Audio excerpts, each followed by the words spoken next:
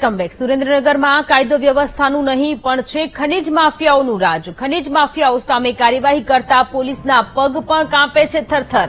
આવું એટલા માટે કહેવું પડે, કારણ કે સુરેન્દ્રનગર જિલ્લામાં ખનીજ માફિયા એટલા બેફામ બન્યા છે કે પોલીસની હાજરીમાં જ હુમલો કરી રહ્યા છે. સરકારી કામમાં પણ બાધા ઊભા કરી ઊભી કરી રહ્યા છે. વાત એમ છે કે ખનીજ માફિયાઓએ ખોદેલી ખાણો પૂરવા માટે સરકારે ગ્રાન્ટ મંજૂર કરી છે, જેથી વહીવટી તંત્રે ખાણો પૂરવાનું શરૂ કર્યું છે. પરંતુ કોન્ટ્રાક્ટરો ખાણ પૂરે તે પહેલા ખનીજ માફિયાઓએ કામ અટકાવ્યું અને કોન્ટ્રાક્ટરો પર ભૂસ્તર વિભાગ અને પોલીસની હાજરીમાં જ પથ્થરમારો કર્યો. એટલું જ નહીં, કોન્ટ્રાક્ટરો પર પથ્થરમારો કર્યો હોવા છતાં પોલીસ મુખ પ્રેક્ષક બનીને જોતી રહી. સ્થાનિકોનો આક્ષેપ છે કે પોલીસ ખનીજ માફિયાઓ પાસેથી હપ્તો લેતી હોવાથી કોઈ કાર્યવાહી કરતી નથી. પોલીસ હપ્તારાજને કારણે ખનીજ માફિયાઓને બચાવતી હોવાનો પણ આક્ષેપ કરવામાં આવ્યો છે. ત્યારે અહીં સવાલ એ થાય છે કે ખરેખર તંત્ર ખનીજ માફિયાઓ સામે કાર્યવાહી કરશે કે પછી કાર્યવાહીના નામે માત્ર દેખાડો જ કરશે? ગઈકાલે જે સાંજના ટાઈમે કામગીરી ચાલુ કરવામાં આવી થાનગઢ તાલુકાના ભડુલા, એટલે કે થાનગઢની બાજુના ભડુલા વિસ્તારમાં. જે ખનીજની ટીમ સાથે રાખી અને ટેન્ડર જે વ્યક્તિએ ભરેલું છે આ એજન્સીએ ખાડા પૂરવાનું કામ ચાલુ કરેલું. આજે એ એજન્સી ઉપર પોલીસની હાજરીમાં હુમલો થાય છે. એટલે કે ક્યાંક ને ક્યાંક પોલીસ અધિકારીઓ પણ ક્યાંક ને ક્યાંક સ્થાનિક પોલીસ અધિકારીઓ આમાં જવાબદાર છે. અનેક વખત પોલીસ ઉપર એલિગેશન લાગ્યા છે કે પોલીસ હપ્તાખોરી ઉઘરાવે છે. બે, ત્રણ પોલીસ કર્મચારીઓના કારણે આખી ખાખી વર્દી એટલે કે આખી ગુજરાત પોલીસ એટલે આખો ગુજરાત પોલીસ ડિપાર્ટમેન્ટ બદનામ જાય છે. આવા અધિકારીઓ ઉપર ખરેખર કાર્યવાહી થવી જોઈએ. આજે જે ઘટના ઘટી છે, એમાં કોણ પોલીસ કર્મચારી સાથે હતું? કોણ ભૂમાફિયાને સાવરે છે? કોના હપ્તા બંધ થવાની પીડાથી આ હુમલા થાય છે? ખરેખર આની ઊંડાણપૂર્વક તપાસ થવી જોઈએ. અમારી તંત્રને નમ્ર વિનંતી છે, હજારો કરોડ રૂપિયાની ખનીજ ચોરી જે લોકો કરી ગયા છે, એ ભૂમાફિયાઓ પર તો કાર્યવાહી કરવી જ રહી. પણ અત્યારે જે એજન્સી ખાડા પૂરવાનું કામ કરે, એના પર હુમલો થાય, આટલી હદે બેફામ બનેલા ભૂમાફિયાઓને કંટ્રોલ ક્યારે કરશો? ક્યારે અહીંના સ્થાનિક જાગૃત લોકો તમને ખાણો બતાવવાની તૈયારી દર્શાવે છે? તો એની સાથે તમે જઈ શકતા નથી. જાગૃત લોકો છે, એને અવારનવાર ધમકીઓ મળે છે. ખરેખર પોલીસની હાજરીમાં જ જો હુમલા થતા હોય, તો જાગૃત લોકો કેવી રીતે ખાણો બતાવવા જશે? કેવી રીતે જનતા રેડ થશે? ખરેખર આ ચિંતાનો વિષય છે. સુરેન્દ્રનગર જિલ્લામાં ભૂમાફિયાઓ બેફામ બન્યા છે. હજારો કરોડની ચોરી થાય છે. તંત્ર અને પોલીસ વિભાગ ઈચ્છતું હોય તો આ ચોરી અટકાવે.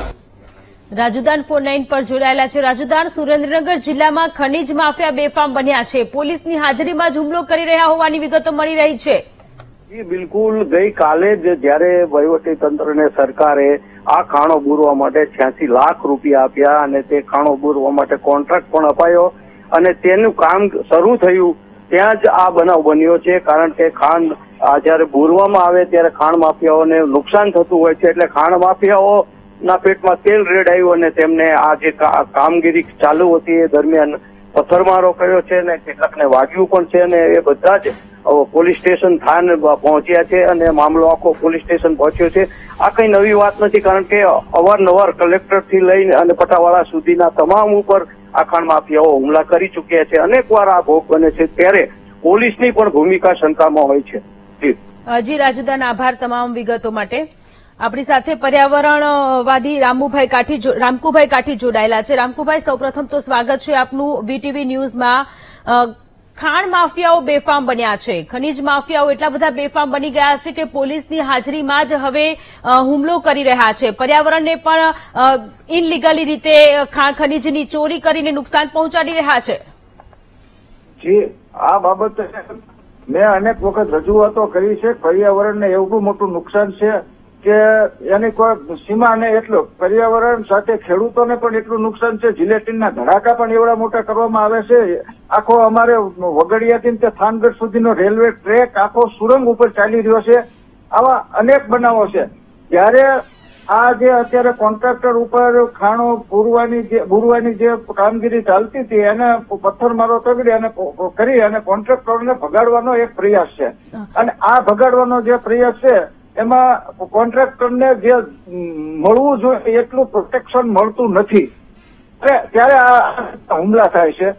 આ હુમલા અનેક ખાણ ખનીજ વિભાગના અધિકારીઓ ઉપર તો હુમલા થઈ થઈ ચુક્યા છે. જ્યારે પોલીસ આમાં એની કામગીરીથી અલગ રહેતું હોય એવું લાગે છે અને પોલીસ અને ખનીજ માફિયા બે સિક્કાની એક બાજુ, બંને બાજુ, એક બાજુ ખનીજ માફિયા છે ને એક બાજુ પોલીસ છે. પંદરસો કોલસાના ખાડા મૂળી સાહિલ અને ખાનગઢના વિસ્તારમાં હજી હાલમાં પણ ધમધમી રહ્યા છે. એક ખાડાનો માસિક પ્રતિ માસિક હપ્તો એક લાખ ને સિત્તેર હજાર રૂપિયા પોલીસ લે છે.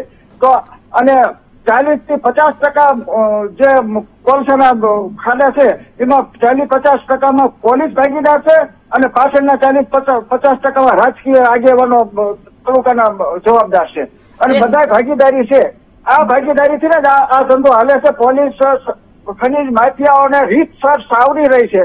જો ખાસ ખનીજ અધિકારીઓ કોઈ પણ રેડ કરવામાં જ્યાં પોલીસ રેડ કરશે તો મોટામાં મોટું તમને ખનીજ ચોરી પકડાશે અને આ આ બધું મુદ્દામાલ ને બધું પકડાશે. પણ પોલીસ સંડોવાયેલી છે રામકુભાઈ. પોલીસ જ તો સાથે જ અંદર સાઠગાંઠ હોય તે પ્રકારની સ્થિતિ અત્યારે જોવા મળી રહી છે. આપના મતે પર્યાવરણ સાથે છેડછાડ કરનાર ખનીજ માફિયાઓની સામે કેવા પ્રકારની કાર્યવાહી થવી જોઈએ? ખનીજ માફિયાઓ સામે જે અત્યારે તંત્રએ કામગીરી ચાલુ કરી છે એ કામગીરી સરાહનીય છે. હું એ કામગીરીને વખાણું છું. પરંતુ એ કામગીરી પૂર્ણ આ થવા દેશે નહીં. પોલીસ જ આજે અત્યારે હુમલો થયો છે એ પ્રત્યક્ષ રીતે તમે આમ ગણો તો અમને પોલીસને ખનીજ અને કોઈ પોલીસની બીક નથી. અમારા કલેક્ટર ઉપર જો ખુદ ગંપર ચડાવવાનો પ્રયાસ અને જાન લેવાનો પ્રયાસ થયો હોય તો આવા નાના અધિકારીઓનું તો શું આવે સુરેન્દ્રનગર જિલ્લામાં? સુરેન્દ્રનગર જિલ્લામાં આવી રીતે અ, અંદાજ તમે આમ ધડાકા થાય છે ને ધડાકા તમને ધરતી કંપન અનુભવ થાય એવડા એવડા ધડાકા થાય છે. જે પર્યાવરણના હજારો જે તમે ગૌચર જમીન કયો સરકારી ખરાબાની જમીન કયો અને વન વિભાગની જમીનમાં પણ ખોદકામ અત્યારે પણ ચાલુ છે ને વર્ષોથી આ સીધા પચીસ વર્ષથી વૃક્ષોનો તો અમારું ખદાન મેદાન થઈ કરી નાખવામાં આવ્યા છે. અમારા જે. પૌરાણિક જે ધરોહરો છે કે પૌરાણિક મંદિરો છે એ મંદિરોની આસપાસમાં જે મંદિરો પુરાતત્વ વિભાગ હેઠળ આરક્ષિત સ્મારકો છે એ સ્મારકો પણ હવે બચ્યા નથી. જી, રામકુભાઈ, આપ અમારી સાથે જોડાયા તે બદલ આપનો ખૂબ ખૂબ આભાર. અરવલ્લી જિલ્લા પંચાયતના